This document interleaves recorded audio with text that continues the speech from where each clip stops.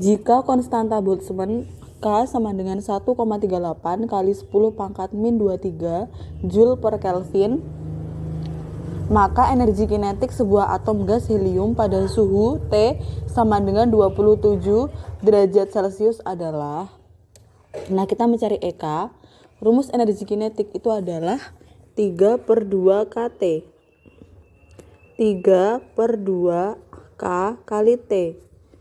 Nah kemudian suhunya itu kita konversi dulu ya ke derajat Kelvin. Berarti 27 ditambah 273 ketemunya adalah 300 Kelvin. Kita masukkan ke rumus 3 per 2 K nya itu adalah 1,38 kali 10 pangkat min 23 Joule per Kelvin. Dikali suhunya itu adalah 300 Kelvin nah kita hitung.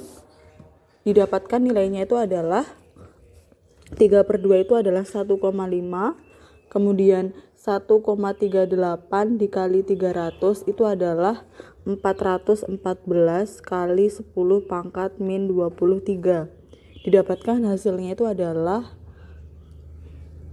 621 kali 10 pangkat min 23 kita jadi kita jadikan 6,21 kali 10 pangkat 2 kali 10 pangkat min 23 didapatkan nilainya adalah 6,21 kali 10 pangkat min 21 Joule dari langkah-langkah pengerjaan di atas diperoleh kesimpulan bahwa energi kinetik sebuah atom gas helium adalah sebesar 6,21 kali 10 pangkat min 21 Joule.